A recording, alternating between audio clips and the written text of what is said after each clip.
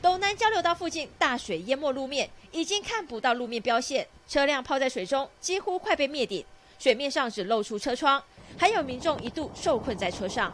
就在车上。哦，啊，你怕不知道踩下来多深吗？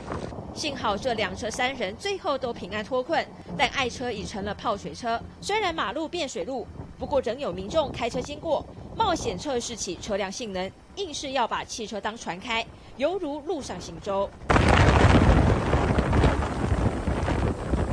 所幸是有惊无险，看起来是顺利过关了。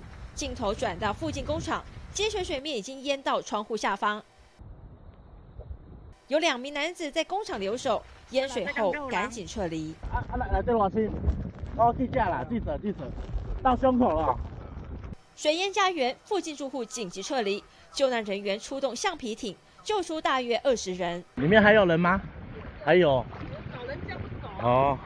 即使家园淹大水。还是有少数民众不愿撤离，待在家里。斗南林子里台荣路马路也成了水道，有民众车辆就停在路边，几乎半个车身泡在水里。看起来新盖没多久的豪华透天厝也难逃水劫。民众出门查看灾情，水深淹到大约大腿处。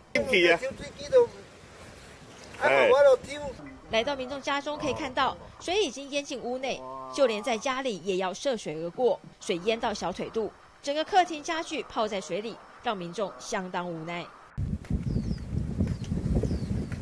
斗南当地的铁轨也传出淹水灾情，台铁石龟车站到斗南车站，二十五号下午三点前全线停驶。斗南大湖口溪溪水暴涨，多处传出灾情，只能等大水退后重整家园。民事新闻蔡松林。云林报道